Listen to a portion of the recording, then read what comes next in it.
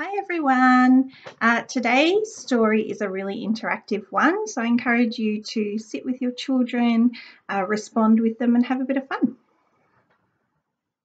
This is a ball.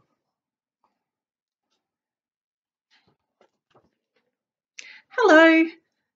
Let's read this book together. But first, I just need to check a few things.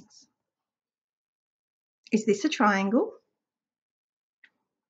Is this a cat? Hmm, and what's this? Excellent. Great job. It's good to know we agree. Let's get started. This is a ball. Are you sure? Hmm, I think you need to look closer.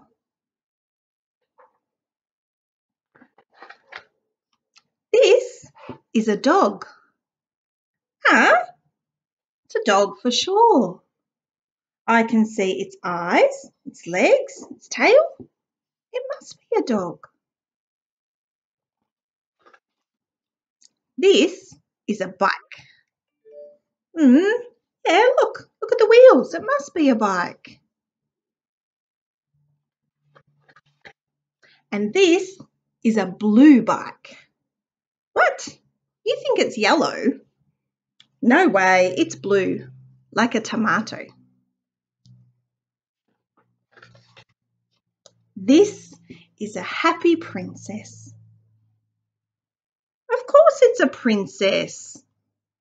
I can see her big smile.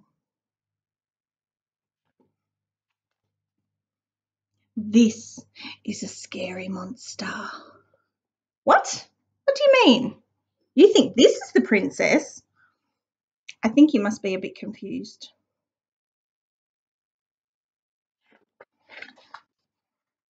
This is a monster scaring the princess. you must be in a muddle. This is a monster scaring a princess and her pet dog. We talked about this before. Don't you remember? Look, tail. All dogs have tails. This is a beach. What do you mean it's not a beach? I can see the sky and the ground. This is a kite. Yeah, it has to be a kite. Why else would it have a long string? This is a princess flying a kite at the beach. Are you feeling okay? You seem to be getting a lot of things wrong today. This is a princess flying a kite at the beach with her pet dog. Are your eyes working properly?